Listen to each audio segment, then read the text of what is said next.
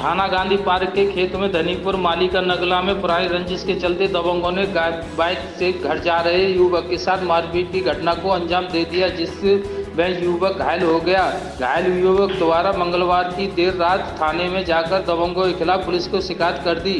Police ने मामले को संज्ञान में लेते हुए घायल को मेडिकल परीक्षण व उपचार के लिए जिला अस्पताल सिंह मलकान सिंह भेज दिया और मामले में तहरीर के आधार पर कार्रवाई की बात कही।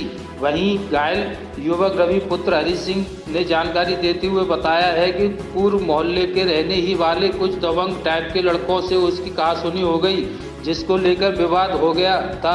उसी को लेकर युवकों द्वारा उससे रंजिश चल रही थी, जिसके चलते मंगलवार की देर रात वह बाइक से अपनी बहन के साथ घर जा रहा था, तभी रास्ते में दबंगों ने उसका रास्ता रोक लिया और बिना कुछ कहे डंडे से उसके साथ मारपीट कर दी, जिसके कारण उसके हाथ में चोट आई और वह घायल हो गया।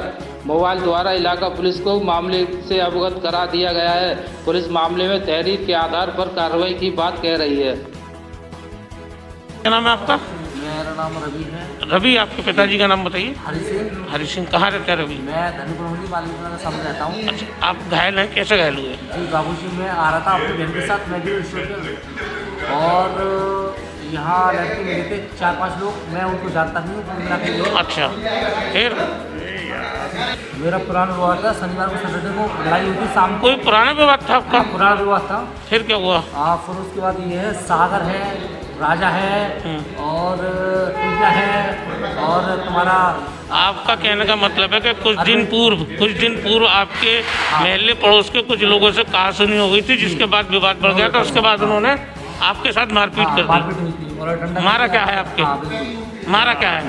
ये पेटी मारी है तमंचे की पत्तीस सौ पंद्रह की कितने लोग थे वो? जी वो पाँच लोग थे आराम से। पुलिस में शिकायत हाँ, कर दी आपने? हाँ खुला एफ़ आई आर है। ठीक है।